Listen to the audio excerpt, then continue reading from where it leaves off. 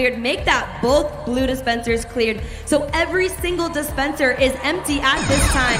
Begin driver switch. These bots have all of the discs inside of their bots and are lined up at the fence line, sending those discs under into the different scoring zones. So far, a lot of those discs are in the blue and green scoring zone, and both they're lined up now at the fence, sending those discs under the fence into the different scoring zones. That's a begin driver switch, so our drivers get to switch now. It's amazing they have one dispenser remaining to clear, and one of our bots is working their way there now. Said has now cleared the final blue dispenser, while Coolest Kids is still lined up near the fence. Let's see what happens in this remaining 17 seconds. All discs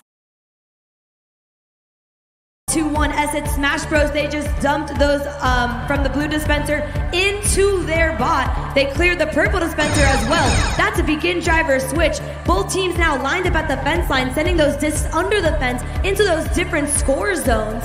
We've got 27 seconds left on the clock. Let's see what these teams do.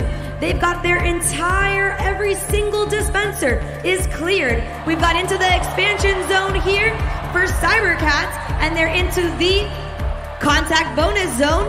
And now one disc or two discs in that robot's possession. There they go shooting those discs into that blue, green, and purple scoring zone. And we have both robots on the move. Look five dispensers in the clear. No discs remain here on the field floor. And there's that driver switch. Are we on the disc already? Looks like they are headed towards that expansion zone. We still have over 25 seconds left. Strategy they were mentioning. And there they go launching those discs in that blue and green zone. Meanwhile, we have the robot on the left side getting that blue dispenser. All discs still remain in the robot's possession. And there we have a driver switch.